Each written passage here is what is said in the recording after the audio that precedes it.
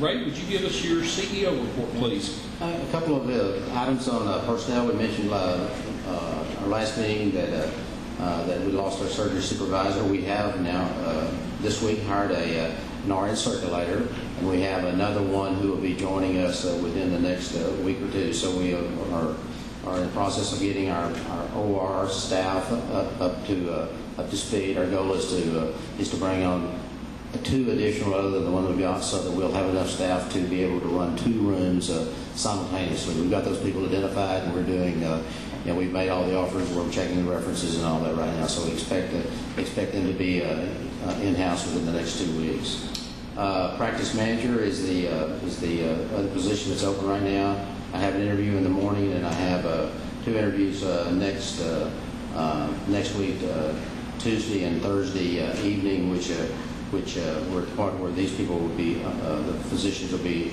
uh, participating in that interview. So uh, we've got some good candidates we're looking at, hopefully to have that uh, position filled, you know, in in a reasonable time. Swing beds, we have two patients. We got one patient on the first day of swing beds. We got the second patient on the second day of our swing bed program. But, you know, that- that program's uh, working well for us. We have identified a third person who is interested, is, the person will have a surgery in Fort Worth and is in- interested in transferring into our, uh, into our facility. The only issue that we have is the patient is looking for a guarantee of a, of a private room. And you know, we can't, we can't provide that because we're in the, we're in the med surg business. We've got a, a real strong census right now. So I think that patient will be making that decision whenever it's time for them to transfer. We've got all the other arrangements made. Uh, it's, it's a local, it's a local patient who is having surgery in Fort Worth. So that's part of what we want to do is swing bed. Just have a program where those patients can, you know, if, if they need to have their surgery in Fort Worth, they can have it there. But they can come back to, to, uh, to our, uh, our facility for the swing bed, for the, the convalescence.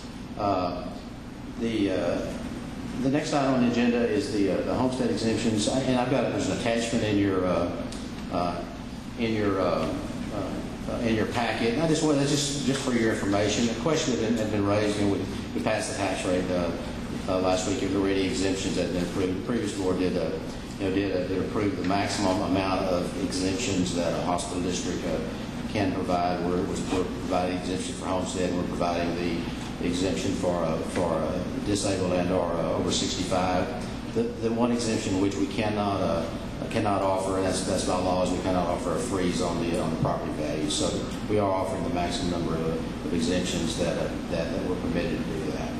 And in case any of y'all was wondering, that was James Menard that just beat the crap out of me one day, wanted to know why I wasn't giving him any exemptions. And so that happened like on Tuesday afternoon. I'm down at Wes Rowland's office like on Wednesday morning saying, Wes, you know, how, how this slip through the cracks? And he said, no, y'all do everything. So I called Ray and I said, we're doing everything. He said, yeah. So I had to call James and say, hey, we're doing it all. It was not, not me. Blame somebody else.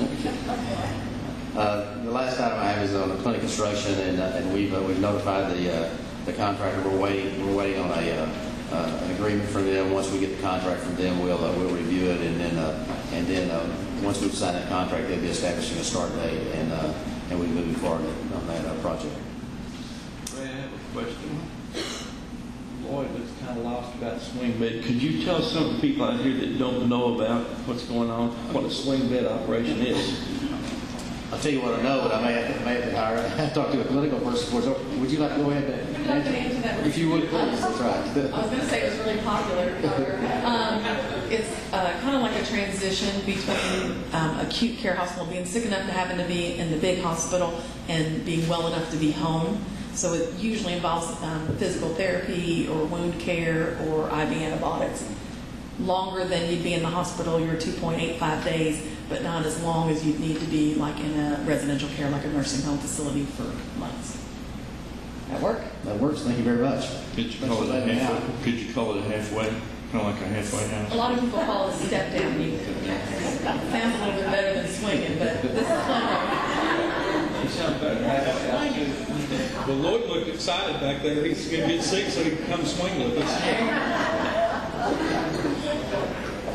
All right.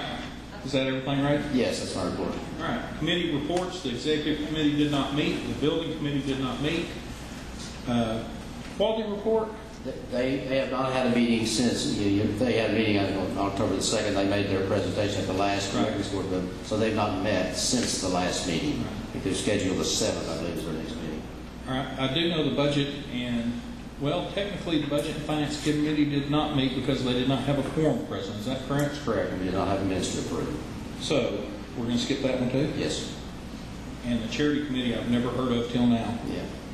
Let's announce the meeting. All right, so we're going to let Michael do that. I'll give you a report on the charity committee. Uh, For the month, we approved $9,236.99 in charity. Uh, That was two individuals. You you do have a report that kind of looks like this in your packet that that breaks that down.